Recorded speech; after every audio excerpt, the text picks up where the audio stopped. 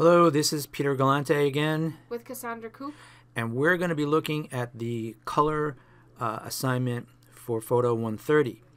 What you're looking at right now is a photo by National Geographic photographer Steve McCurry, and it is of the um, Holi Festival in India. And um, this is a really good example of color as it tells the narrative. Um, so when we're talking about shooting pictures where color is part of the story, we're not talking about pictures that are colorful, but how color is critical to understanding the story. So if we go to the next image here, we've made a grayscale image of it, and you can see that you no longer have an understanding of what is going on. These guys now just look like they're dusty, dirty, maybe miners or something, as opposed to religious men.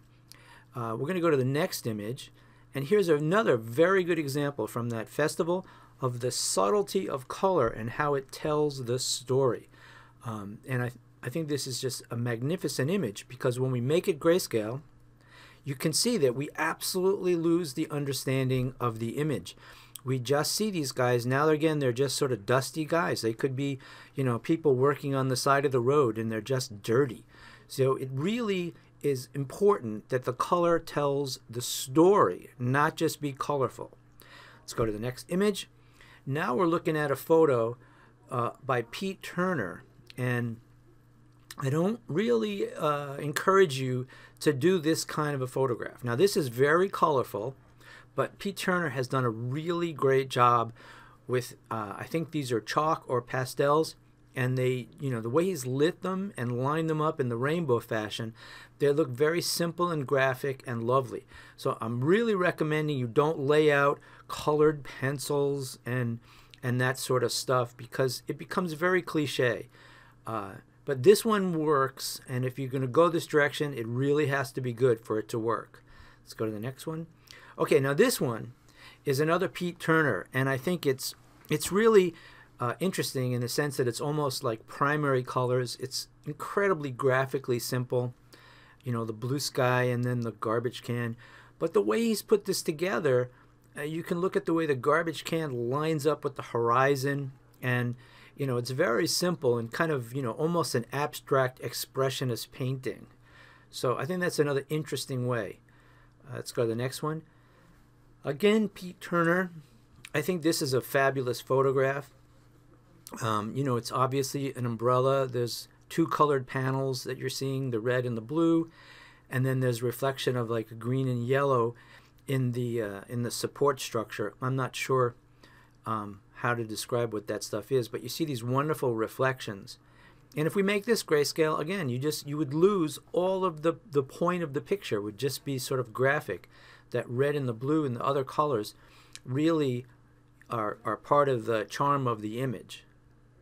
Now this is a student example of using color. Uh, so this was from our, our, our previous Photo 130 class.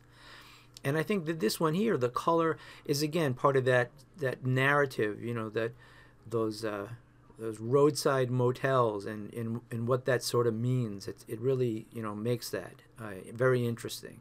If we make it grayscale, you know, we still see the no vacancy, but we don't we don't have that real weird, you know, film noir, you know, uh, Hollywood kind of feel. Let's go to the next.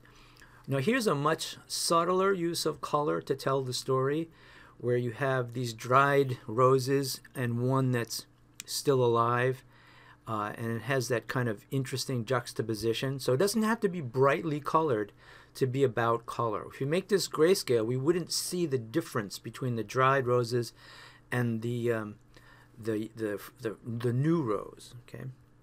Again, another student example very simple graphic image.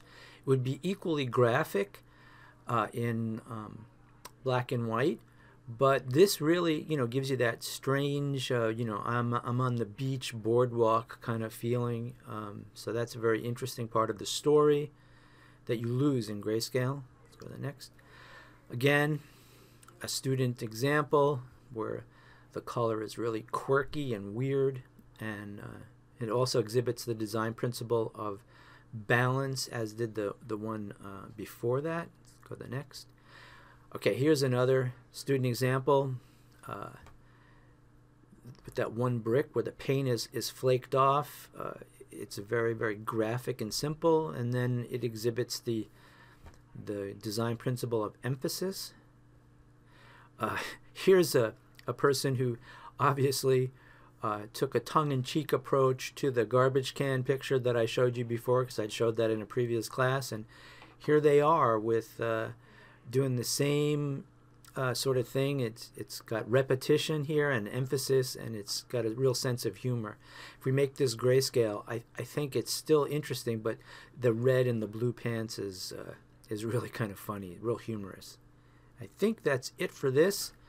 So I want to reiterate that when you do these images, uh, remember, we're not looking for colorful. We're looking for when we convert it to grayscale that we lose the the meaning.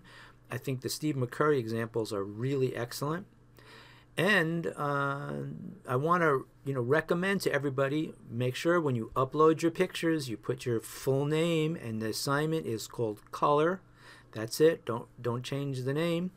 And when you critique these images, I want to make sure that you guys look at the metadata so that uh, you see that it's not shot on auto and that the ISO and the apertures make sense and uh, and, and you have to you have to check that out. So don't assume that people are doing it.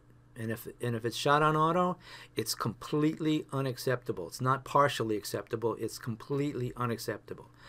Thank you very much, and we're going to do our next video. It's we're going to be talking about the grayscale.